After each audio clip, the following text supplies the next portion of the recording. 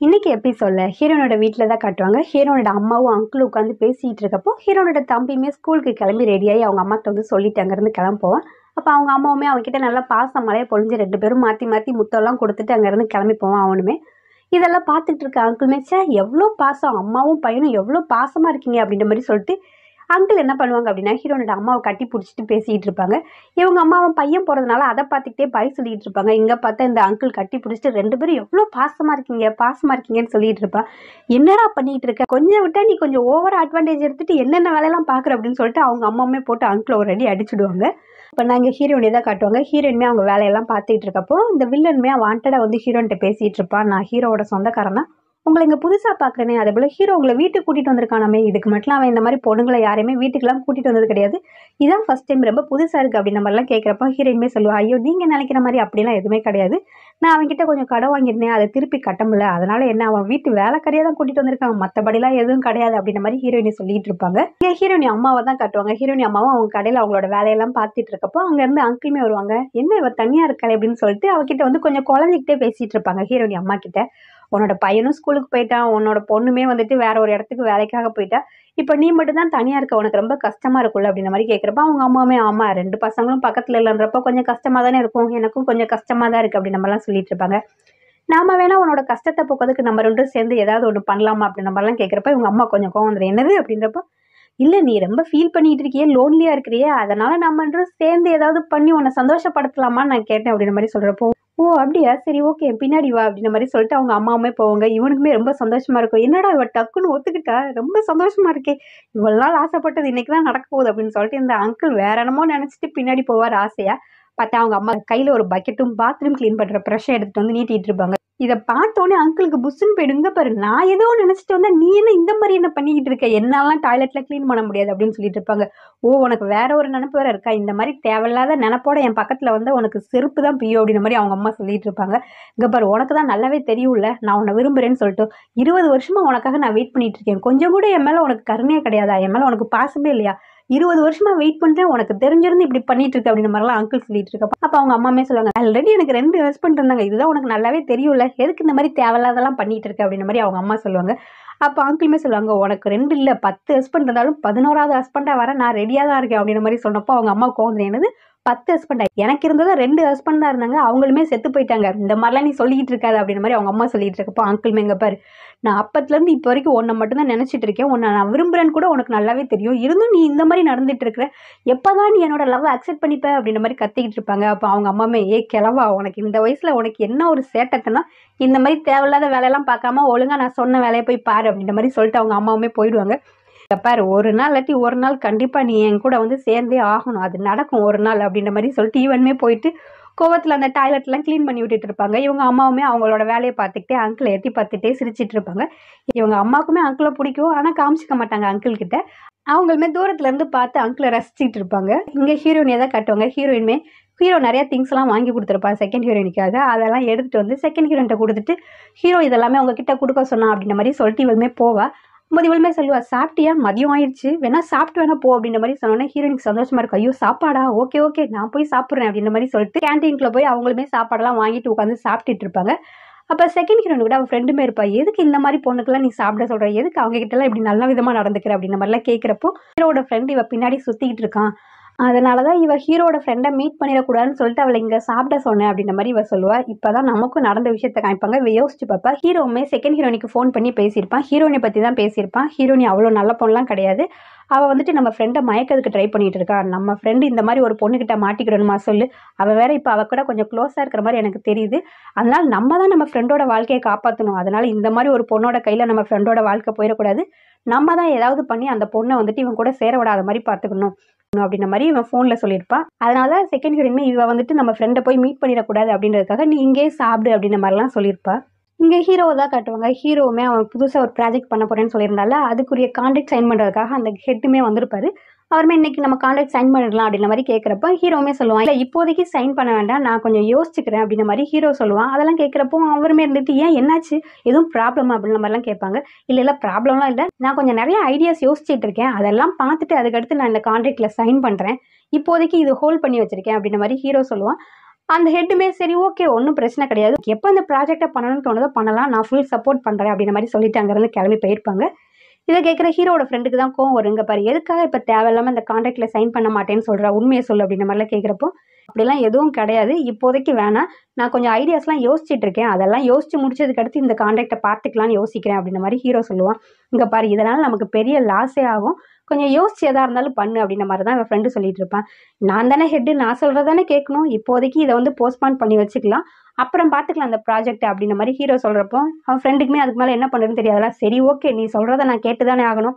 நீ என்ன முடிவெடுக்கிறியோ எடுத்துக்கோ. நான் எதுவும் தலையிட போகிறதில்ல நீ எது சொன்னாலும் நான் ஆமாம் ஆமான்னு தலையாட்டிட்டு போகிறேன் அப்படின்ற மாதிரி சொல்லிட்டு அவன் ஃப்ரெண்டுமே அங்கேருந்து போயிடுவான். இங்கே ஹீரோயினை தான் காட்டுவாங்க. ஹீரோயினுமே செகண்ட் ஹீரோயினியோட ஸ்டுடியோவில் நிறைய வேலைலாம் இருக்கும். அதெல்லாம் பார்க்க சொல்லியிருப்பா. இவளுமே அந்த வேலை எல்லாமே பார்த்துட்டு இருப்பாங்க. அங்கே ஃபோட்டோ ஷூட் தான் நடந்துட்டு இருக்கும். அந்த ஃபோட்டோ ஷூட்டும் நடந்து முடிஞ்சு அங்கே இருந்து எல்லாருமே போயிடுவாங்க. அங்கே நிறைய ட்ரெஸ் எல்லாமே இருக்கும். அந்த ட்ரெஸ் எல்லாம் பார்க்குறப்போ ஹீரோனிக்கு ரொம்பவே பிடிச்சிருக்கும். அந்த ட்ரெஸ் எல்லாம் சூப்பராக இருக்கே நம்ம போட்டு பார்த்தா நல்லா இருக்கும்ல அப்படின்னு சொல்லிட்டு இவளுமே அங்கேருந்து ஒரு ட்ரெஸ் எடுத்து போட்டு பார்த்துட்டு அங்கே ஃபோட்டோ ஷூட் நடந்ததில்ல அது மாதிரி இவளும் நம்ம ட்ரை பண்ணலாம் அப்படின்னு சொல்லிட்டு அந்த இடத்துல நின்றுக்கிட்டு அந்த ஃபோட்டோ ஷூட் நடக்கும்ல அந்த இடத்துல போய் நின்றுக்கிட்டு டான்ஸ் ஆடிக்கிட்டு இருப்பா. கொஞ்சம் காமெடியாகவே டான்ஸ் ஆடிக்கிட்டு இருப்பா. அதே டைமுக்கு ஹீரோவோட ஃப்ரெண்டுமே அங்கே வருவான் பார்த்தா இங்கே ஹீரோனி டான்ஸ் ஆடிட்டு இருக்கதை பார்த்தோன்னா அவனுக்கே சிரிப்பு வந்துவிடும் சரி ஃபோன் எடுத்து வீடியோ எடுக்கலாம்னு சொல்லிட்டு இவனுமே ஃபோனில் அதெல்லாம் வீடியோ எடுத்துகிட்டே சிரிச்சிட்டு இருப்பான் அவள் டான்ஸ் ஆடுற மூமெண்ட் எல்லாம் பார்த்துட்டு சிரிச்சிட்டு இருப்பான் அதே டைமுக்கு செகண்ட் ஹீரோயினுமே அங்கே வருவா. என்ன இவ்வளோ சந்தோஷமாக சிரிச்சிட்டு இருக்கான் அப்படின்னு வந்து பார்த்தா இங்கே ஹீரோயின் வந்து டான்ஸ் ஆடிக்கிட்டு இருப்பா. அதை பார்த்துட்டு இவளுமே என்ன இந்த பக்கம்? என்ன தேடி தான் வந்தியா? அப்படின்ற மாதிரிலாம் செகண்ட் ஹீரோயின் கேட்குறப்போ இல்லை இல்லை நான் ஒன்றை பார்க்கறதுக்கு வரல. ஹீரோனி இங்கேருந்து கூட்டிட்டு போகலான்னு சொல்லிட்டு வந்தேன் அப்படின்ற மாதிரி இவன் சொல்லுவான். இதை கேட்குறப்போ இவளுக்கு கொஞ்சம் சங்கடமாகவே இருக்கும். அதனால இவளுக்கு கொஞ்சம் பாசிட்டிவாக இருக்கும். இவன் அந்த பொண்ணோட இவ்வளோ க்ளோஸாக இருக்கான் அப்படின்ற மாதிரி கொஞ்சம் வருத்தமாகவே அவனை பார்த்துட்டு இருப்பா. இவன் என்னடானா அதெல்லாமே யோசிக்காமல் ஃபோனில் அவள் ஆடுறத வீடியோ எடுத்துகிட்டு இருப்பான். வீடியோ எடுத்து முடிச்சுட்டு இவளும் டான்ஸ் ஆடி முடிச்சோன்னே அவளை ஒரு ஹோட்டலுக்கு தான் கூட்டிகிட்டு போவான். ஹோட்டலுக்கு கூட்டிகிட்டு போயிட்டு இவன் எடுத்த வீடியோவை தான் காமிச்சிட்டு இருப்பாங்க பாரு நீ எப்படி டான்ஸ் ஆடிருக்கேன்னு சொல்லிட்டு அந்த வீடியோலாம் போட்டு காமிச்சிட்டு இருப்பான். அவளுமே அந்த வீடியோலாம் பார்த்துட்டு ரெண்டு பேருமே ஜாலியாக பேசிட்டே சிரிச்சுட்டு சாப்பிட்டுட்டு இருப்பாங்க. அப்போ என் ஃப்ரெண்டுமே சொல்லுவான் எனக்கு ஒரு டவுட் உங்ககிட்ட கேட்கணும். ஹீரோ இவ்வளோ நாள் அந்த ப்ராஜெக்டை பண்ணணும் பண்ணணும்னு சொல்லிட்டு பிடிவாதமாக இருந்தான். இப்போ திடீர்னு சொல்லிட்டு அந்த ப்ராஜெக்டை இப்போதைக்கு பண்ண வேண்டாம். கொஞ்சம் தள்ளி போடுறேன் அப்படின்னு சொல்லிட்டு தள்ளி போட்டிருக்கான். எதுக்காகன்னு உனக்கு தெரியுமா? அப்படின்ற மாதிரிலாம் கேட்குறப்ப இவளுமே யோசிப்பா. எதுக்காகன்னு எனக்கு தெரியலையே. அவன் எப்போ எப்படி மாறுவான்னு எனக்கு எப்படி தெரியும். அவன் யாருக்கிட்டயுமே கொஞ்சம் நல்ல விதமாலாம் நடந்துக்க மாட்டான். இப்போ ஏன் திடீர்னு இந்த மாதிரி முடிவெடுத்தான்னு சொல்லி எனக்கு தெரியல. நீ வந்துட்டு இதை செகண்ட் ஹீரோன்ட்ட தான் கேட்கணும். ஏன்னா செகண்ட் ஹீரோயினும் ஹீரோவும் தானே கல்யாணம் பண்ணிக்க போகிறாங்க இதை பற்றிலாம் நீ அவங்க கிட்ட தான் கேட்கணும். நீ ஏன் தேவையில்லாம என்கிட்ட வந்து கேட்குற அப்படின்ற மாதிரிலாம் ஹீரோயின் சொல்கிறப்போ அப்போ ஹீரோட ஃப்ரெண்டுமே சொல்லுவான் இல்லை இப்போதைக்கு அவ கூட நான் கொஞ்சம் க்ளோஸாலாம் இல்லை. அதனால இதை பற்றிலாம் அவர்கிட்ட டிஸ்கஸ் பண்ண முடியாதுல்ல. அதனால தான் நான் உங்ககிட்ட வந்து பேசினேன். அப்படின்ற மாதிரிலாம் இவன் சொல்லிட்டு இருப்பான். இவளுமே சரி ஓகே ஓகே. என்ன நீங்கள் மூணு பேருமே ரொம்ப க்ளோஸ் ஃப்ரெண்டுன்னு சொன்னீங்க. ஆனால் இப்போ நீ க்ளோஸ் இல்லைன்னு சொல்கிற சரி ஓகே அது உன்னோட விஷயம். நான் எதுவும் கேட்டுக்க முடியாதுல்ல அப்படின்ற மாதிரி ஹீரோயினி சொல்லிக்கிட்டு இருப்பா. இங்கே மறுநாள் கம்பெனியில் தான் காட்டுவாங்க. கம்பெனியில் ஹீரோயினுமே அவங்களோட வேலையை பார்த்துட்டு இருக்கப்போ இந்த வில்லன் திருப்பி வந்து அவளுக்காக சாப்பாடுலாம் வாங்கிட்டு வந்து கொடுத்துட்டு பேசிகிட்டு இருப்பான். ரொம்ப நல்ல மாதிரியே அவர்கிட்ட பேசிகிட்டு இருப்பான். ஹீரோனிக்கு தெரியாதுல இவன் என்ன நோக்கத்தோட பேசுறான்னு சொல்லிட்டு. அதனால அவங்களுமே ரொம்ப வெகுலி அவங்ககிட்ட பேசிகிட்டு இருப்பாங்க. அப்போ அவனுமே கேட்பான் எவ்வளோ காசு தான் வாங்கினேன் அவங்ககிட்ட அவன் இந்த மாதிரி உன்னை நிறைய வேலை வாங்கிட்டு இருக்கான். ஒரு வேலை செய்ய ஓகே அவன் எல்லா வேலையும் ஓன் தலையில் தான் கட்டுறான். நீயும் சலிக்காமல் வேலை பார்த்துட்டு இருக்க அப்படி எவ்வளோ காசு தான் நீ அவங்ககிட்ட கடனாக வாங்கின அப்படின்ற மாதிரிலாம் கேட்குறப்போ ஹீரோயினுமே கொஞ்சம் யோசிப்பாங்க. யோசிச்சு பார்த்துட்டு அவங்களுமே எல்லா உண்மையும் சொல்லிடுவாங்க. இதுக்கு எல்லாமே காரணம் நான் மட்டும்தான். நான் அவன் கிட்ட பொய் சொல்லிட்டேன். அந்த பொய்னால தான் அவன் என்னை இப்படி ட்ரீட் பண்ணிட்டு இருக்கான். அந்த மாதிரி இவன் அந்த உண்மையெல்லாம் சொல்லிடுவா. இவன் நல்லவன் நினச்சி இவ வாட்டுக்கு எல்லா உண்மையும் சொல்லிடுவா. இதை கேட்குற இவனுமே ஓ அதனால தான் உன்னை இப்படி ட்ரீட் பண்ணுறேன்னா எனக்கு என்னமோ தோணுது அவன் உங்கள் இடத்துல ஏதோ பெருசாக ஒன்று பண்ண போகிறான்னு நினைக்கிறேன். அதனால தான் இப்போதைக்கு அதை வந்துட்டு போஸ்ட்பான் பண்ணி வச்சிருக்கான் வேற ஏதோ ஒரு விஷயம் பண்ண போகிறான்னு நினைக்கிறேன் உங்கள் இடத்துல அப்படின்ற மாதிரிலாம் சொல்கிறப்போ ஹீரோயின்மே சொல்லுவா. என்ன சொல்கிற அப்படின்றப்போ ஆமாம் எனக்கு அப்படி தான் தோணுது. எனக்குமே உங்கள் இடத்துல அப்படிலாம் பண்ணணும்னு எனக்கு விருப்பம் கிடையாது. பாவம் எவ்வளோ மக்கள் பாதிக்கப்படுவாங்க. நானுமே அதுக்கு அகைன்ஸ்ட் தான் அப்படின்ற மாதிரிலாம் நல்ல மாதிரி பேசினோன்னா ஹீரோயின்மே இப்போ இதுக்கு என்ன பண்ணுறது அப்படின்ற மாதிரி கேட்பாங்க. நான் சொல்கிறதெல்லாம் நீ செஞ்ச அப்படின்னா கண்டிப்பாக அந்த இடம் உங்களுக்கு தான் கிடைக்கும் அப்படின்ற மாதிரி சொன்னோன்னே சொல்லு கண்டிப்பாக நீ என்ன சொன்னாலும் நான் கேட்குறேன். நீ என்ன செய்ய சொன்னாலும் நான் செய்கிறேன் அப்படின்ற மாதிரி ஹீரோயினுமே சொல்லுவாங்க. இவனுமே சரி ஓகே நான் யோசிச்சுட்டு வந்து நான் உங்கள்கிட்ட சொல்கிறேன் என்ன செய்யணும்னு சொல்லிட்டு நான் சொல்கிறேன் அதை நீ செய்ய கண்டிப்பாக இந்த இடம் உங்களுக்கு கிடச்சிடும். இன்னொன்று நான் உனக்கு இந்த ஹெல்ப் பண்ணேன் அப்படின்னா நீ எனக்கு ஒரு ஹெல்ப் பண்ணும் அப்படின்ற மாதிரி கேட்குறப்போ அவளுமே சரி ஓகே நீ எனக்கு இவ்வளோ பெரிய ஹெல்ப் பண்ணுற அப்படின்றப்போ கண்டிப்பாக நானும் உனக்கு ஹெல்ப் பண்ணுவேன் அப்படின்ற மாதிரி ஹீரோயின்மே சொல்லுவாங்க. என்ன ஹெல்ப் பண்ணணும்னு சொல்லி நான் செய்கிறேன் அப்படின்ற மாதிரி கேட்குறப்போ அது இப்போதைக்கு என்ன ஹெல்ப்னு எனக்கு தெரில நேரம் வரும்போது நானே சொல்கிறேன் அப்போ நீ பண்ணால் போதும் அப்படின்ற மாதிரி இவனுமே சொல்லிட்டு அங்கேருந்து கிளம்பி போவான் இங்கே செகண்ட் ஹீரோயினை தான் காட்டுவாங்க. செகண்ட் ஹீரோயினுமே கம்பெனிக்கு தான் வந்திருப்பாங்க. ஹீரோக்கிட்ட உட்காந்து பேசிகிட்டு இருப்பாங்க. எனக்கு நம்ம ஹீரோயினையும் நம்ம ஃப்ரெண்டும் ரொம்ப க்ளோஸாக பழகுறாங்கன்னு தோணுது. இதுக்கு மேலே நம்மளால் அவங்க ரெண்டு பேரும் பிரிக்க முடியும்னு எனக்கு தோணலை அப்படின்ற மாதிரி இவ சொல்லிட்டு இருப்பா. இதை கேட்குற ஹீரோக்கு என்னென்னா ஷாக்கிங்காக இருக்கும். என்னது ரெண்டு பேருமே க்ளோஸாக இருக்காங்களா அப்படின்றப்போ ஆமாம் எனக்கு பார்க்குற வரைக்கும் அவங்க ரெண்டு பேருமே ரொம்ப க்ளோஸாக தான் இருக்காங்க அப்படின்ற மாதிரி பேசிகிட்டு இருப்பாங்க. சரி ஓகே அதை விட நம்ம மேரேஜ் எப்போ தான் அப்படின்ற மாதிரி கேட்குறப்போ ஹீரோமே சொல்லுவாங்க கொஞ்சம் டைம் கொடு. எனக்கு அந்த ப்ராஜெக்ட் விஷயமா ஒரு வேலை இருக்குது. அந்த வேலையெல்லாம் முடிச்சதுக்கு அடுத்து நம்ம கல்யாணம் தான் அப்படின்ற மாதிரி சொன்னோன்னே செகண்ட் ஹீரோயினுமே சரி ஓகே அப்படின்ற மாதிரி தான் பேசிகிட்டு இருப்பாங்க. கரெக்டாக அதே டைமுக்கு ஹீரோட ஃப்ரெண்டுமே அங்கே உள்ளே வருவான் ரொம்ப சந்தோஷமாக சிரிச்சுக்கிட்டே தான் உள்ளே வருவான் ஃபோன் எடுத்து ஹீரோக்கிட்ட தான் காமிப்பான் அதில் ஹீரோயினி டான்ஸ் ஆடிப்பாங்கல்ல அந்த வீடியோ தான் இருக்கும். அதைத்தான் ஹீரோக்கிட்ட காமிப்பான். ஹீரோவுமே அதை பார்த்துட்டு இருப்பான். என்னது இதெல்லாம் வீடியோ எடுத்து வச்சிருக்கேன் அப்படின்றப்போ இவன் ஃப்ரெண்ட் என்னன்னா சிரிச்சிட்டே சொல்லிட்டு இருப்பாங்க. இங்கே பாரு எவ்வளோ க்யூட்டாக காமெடியாக டான்ஸ் ஆடிட்டு இருக்கா அந்த பொண்ணு. இதை பார்க்குறப்போ எனக்கே ரொம்ப பிடிச்சிருக்கு. ரொம்ப அழகாக இருக்குல்ல இதெல்லாம் பார்க்குறப்போ. அந்த பொண்ணு ரொம்ப ஜாலியான டைப்பாக இருக்காளே அப்படின்ற மாதிரிலாம். இவன் அவளை ரொம்ப வர்ணிச்செல்லாம் பேசிகிட்டு இருப்பான். இதெல்லாம் கேட்குறப்போ ஹீரோக்கு ரொம்ப காண்டாக இருக்கும். அவனுமே அமைதியாக எதுவுமே சொல்ல முடியாதுல்ல. அதனால் அமைதியாக இருப்பான். அப்போ செகண்ட் ஹீரோமே சொல்லுவா ஆமாம் நீ வேற டேட் பண்ணாமல் சிங்கிளாக தானே இருக்க. உனக்கும் அந்த பொண்ணை பிடிச்சிருக்குன்னு நினைக்கிறேன். அப்படி தானே அப்படின்றப்போ ஆமாம் கண்டிப்பாக யாராக இருந்தாலும் ஹீரோனி கூட பழகினா ஹீரோனியை பிடிச்சிரும். அப்படின்ற மாதிரிலாம் இவன் சொல்லிக்கிட்டு இருப்பான்.